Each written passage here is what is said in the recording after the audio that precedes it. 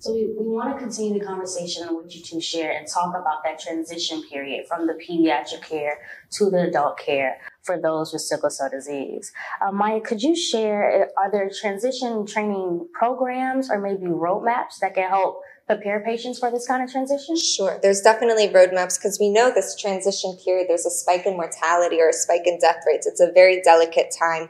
And there's a lot of reasons for that. I mean, the whole treatment landscape or just the insurance landscape going from pediatrics to adult is very complex. So if you don't understand the logistics of that or know how to find an adult provider, there's a lot of places where patients can kind of slip through the cracks and unfortunately at the risk of their own health. So there are different transition uh, programs that are in place. Some of them start, most I would say started around 16 years of age. There's some that start as early as 12.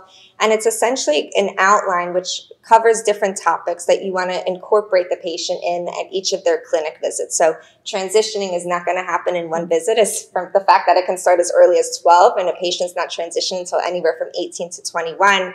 You can imagine there's a ton of information that needs to be discussed at these visits. So there are different roadmaps that are in place in the, the thought is is that you introduce different concepts at each appointment. So, what's your diagnosis? What's your genotype? What do you do? What are your triggers? What do you do in the event of the emergency? What's your insurance? Do you know how to get a referral? So, there's a lot of different uh, topics that are discussed and covered using this roadmap to ultimately prepare a patient for the best chances of succeeding in transitioning.